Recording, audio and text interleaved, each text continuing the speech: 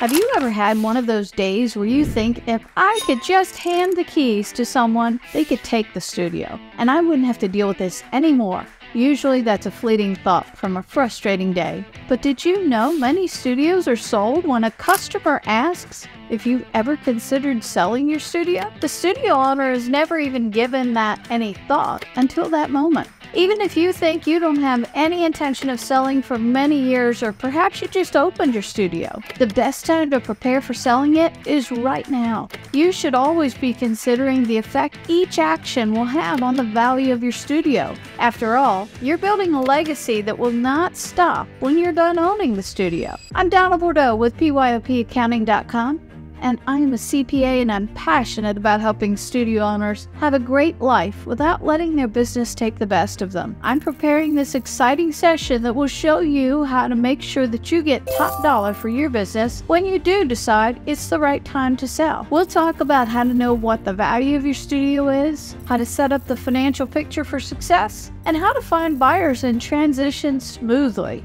Check your CCSA convention schedule for brushstrokes to success preparing your studio to sell now or 20 years from now on Saturday morning. Let's make sure your cash out is a big win for you.